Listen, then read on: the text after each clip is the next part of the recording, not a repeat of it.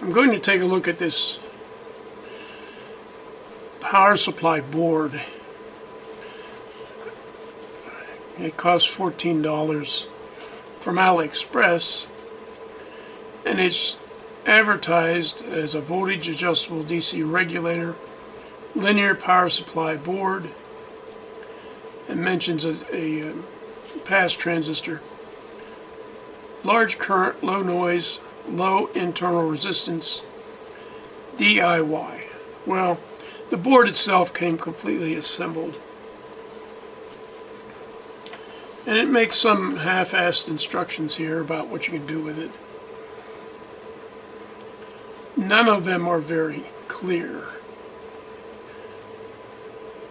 For example it talks about uh, having a range if you replace the fine-tuning potentiometer of 3.3 to 36 volts. And there's no mention of current here. They do mention 25 amps, but that refers to the current rating of the bridge rectifier. As I often do with AliExpress and eBay Chinese pieces, I try to make a board layout and a schematic. The board layout is just that. It's the location of these components. Because these are not normally, although they may be, given component designations, I've assumed uh, R10, for example, C2. The circuit itself is interesting, to say the least. An AC input without a center tap goes to a full wave rectifier and then a bank of capacitors. The full wave rectifier is here, the bank of capacitors are here and here. So I have six capacitors after the full wave rectifier and there they are.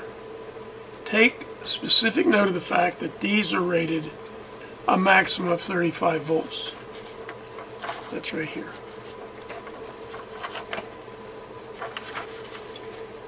And yes, they are 35 volts. We have a regulator circuit that I am at a loss to explain that uses a TL431 as a reference.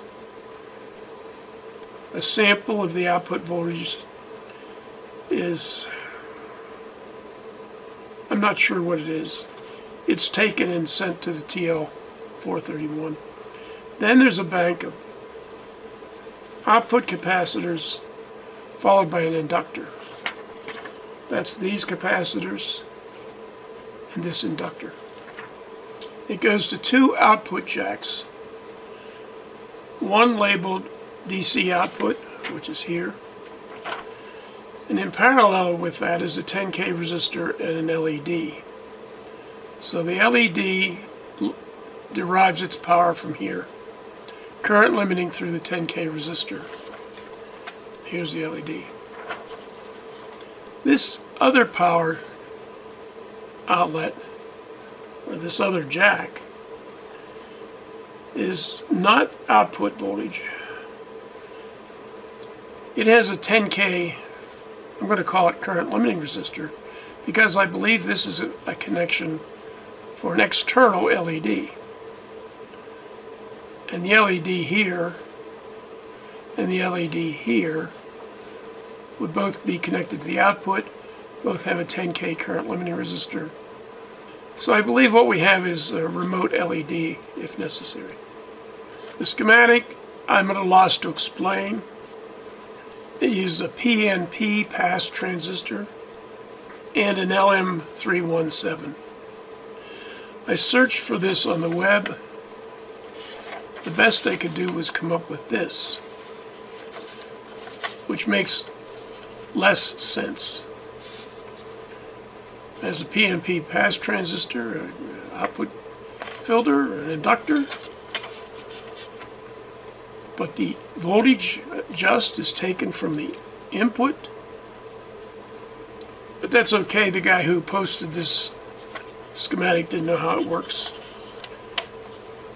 So, and nobody else knew how it worked. The bridge rectifier doesn't need to be insulated. This is uh, hot, electrically, that is. I'm going to put a heat sink on it, and we'll take a look at how it works. So I have a transformer here, and this is an American-made transformer. Pretty conservative. 115 volts AC, 24 volts AC at uh, 5 amps. So I've got the secondary open circuited. So there's no secondary current flowing. And I've adjusted the input voltage to 115 volts. 114. So it's a half a volt low. Remember, 115 volts input yields 24 volts AC output. And you see the no load voltage is 25.8, almost 26 volts. If I were using this transformer with 120 volts in, I bet we're at 27 volts or so.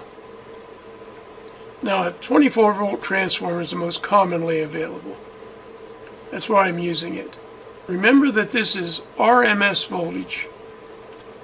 When I apply an RMS voltage to a rectifier capacitor combination, these capacitors will charge to peak voltage, which is a little less than one and a half times the RMS value. It's really 1.414 times RMS. That means with most 24 volt transformers, we will exceed this 35 volts. I wired the transformer up and uh, there's quite heavy wires on the secondary of this transformer. But they fit, they did fit nicely into the box terminals. I, I got to give them credit for that. Turn it on and see if we blow anything up. We didn't. The voltage across these capacitors is actually measurable right here. And you see we're right at 34.8. The maximum, of course, is 35. Looking at the power supply, you notice there's no bleeder resistors across the uh, output. So once turned off, there's, a, there's a, a, good chance there's going to be a charge contained in here. The only uh, current drawn would be the current through this divider, and this is a 50k pot, and the current drawn through this was enough to light the LED. So it's not current limiting, that's for sure.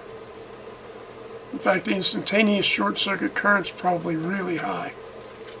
I'm going to turn it on.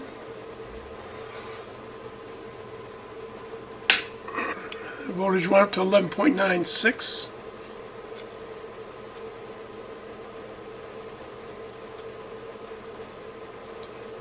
So we're going up. We've ran out of adjustment at 17 volts.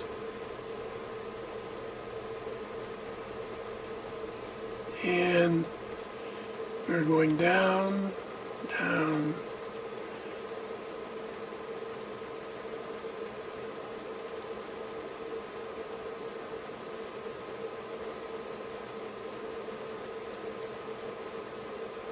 So it goes down nicely.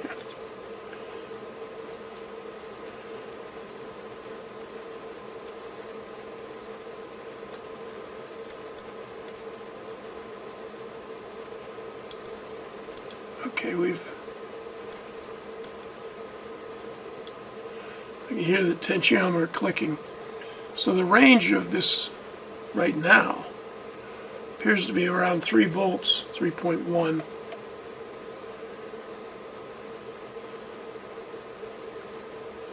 up to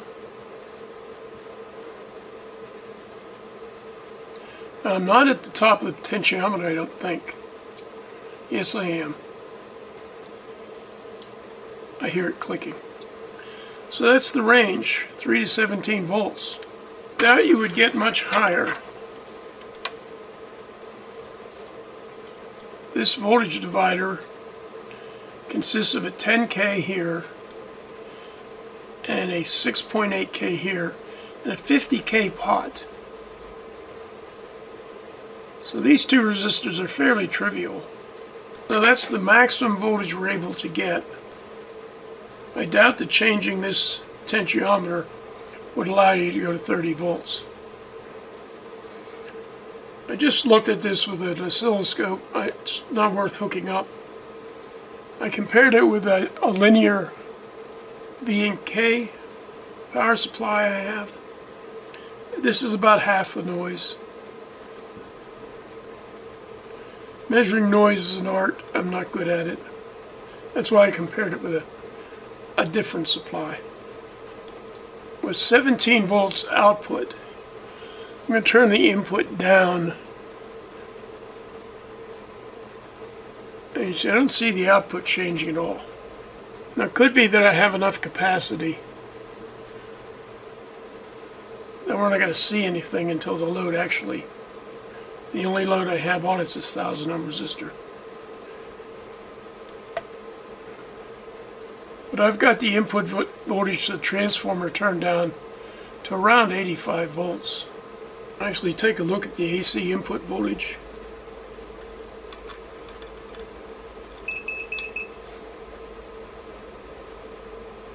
And I'm reading 18 volts input. And that changes to a DC voltage of 23.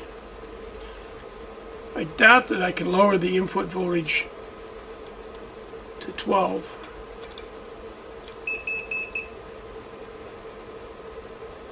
I mean, I know I can lower it to 12. It's now 18. It's 14. And you see we've begun to lose output. And if I adjust it to 12 volts AC, so I have 12 volts RMS, That gives me a voltage here of 15 volts. Now I'm decreasing the voltage, so apparently I'm in the regulating range of 11 volts. I maybe could get 12. And I guess I can probably go down to 3 pretty quickly.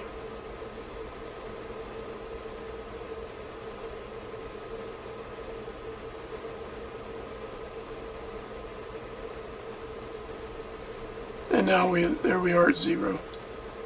That is where uh, the end of the potentiometer.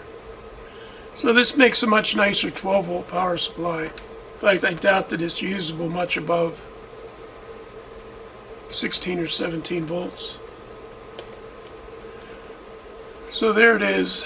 I doubt that you could reach this number. Now the amount of current you can draw, it's entirely up to the heatsink you provide. So when used with a, say, 15 volt RMS input, this is a very nice conservatively designed power supply. As always, this uh, schematic and component specifications for all these components, uh, specification sheets, are in the subdirectory below. Thank you.